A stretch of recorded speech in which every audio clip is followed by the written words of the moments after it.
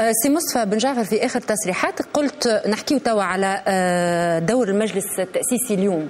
قلت أنت آه، وعلاقتها بحكومة السيد المهدي جمعة وشوية آخر باش نحكيو واعطينا رأيك في حكومة السيد المهدي جمعة. قلت اللي الحكومة هذه تحت رقابة المجلس التأسيسي ورقابة الأعلام هكا أنت قلت.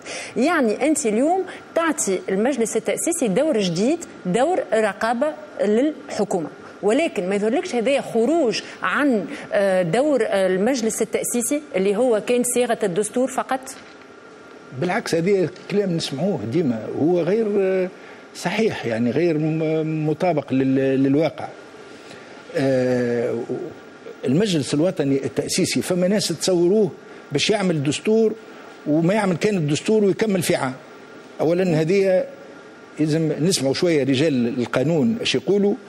وما ثماش حتى دليل أو حجة قانونية تسمح بالكلام هذا. هو كلام سياسي نتاع أطراف سياسية اللي من الدقيقه الأولى حبوا هل التجربة هذه تكون أقصر تجربة ممكنة. لأنهم في واقع الأمر ربما ما كانوش مرتاحين في قلوبهم بنتائج 23 أكتوبر 2011 لكن ما قالوش هذا بكل صراحة. شدوا في المسألة.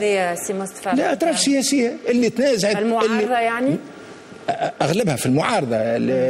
من الأسبوع الأولاني حكومة سي حمادي جبالي من الأسبوع الأولاني قالوا لها فاشلة ويلزمها تتنحى وتخلي بلاصتها لغيرها إلى غير ذلك. هذا الواقع. المجلس الوطني التأسيسي هو قام بثلاثة مهام على الأقل. المهمة التشريعية. المهمة الرقابية بالنسبة للحكومة. أنت قلت لي باش نبداو. ماناش باش نبداو إحنا نراقبوا الحكومة. إحنا راقبنا الحكومة منذ البداية وقداش من لقاءات مع الحكومة ولقاءات كانت مبرمجة واخذت لنا جانب لا بأس به من الوقت. ونحب نهوني نقول وأنها لقاءات مع الحكومة والمهمة الرقابية هي كانت زادت على الضغط المعارضة. لأن ما كناش نتصور والمعارضة بالأساس ما كانش تتصور كونه حكومة وقع أسناد الثقه لها وبعد يخليها تتصرف كما تحب. وحتى حد ما يقول لها شنو اللي تعمل وشنو اللي ما تعملش. ما كانش مقبول كونه ما نهتم كان بالدستور. شكون يراقب الحكومة؟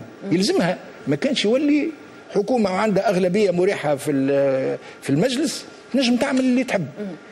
آه، بحيث هل المهمة الرقابية هي موجودة من البداية وكلفتنا شوية وقت وباش تتواصل مع الحكومة القادمة.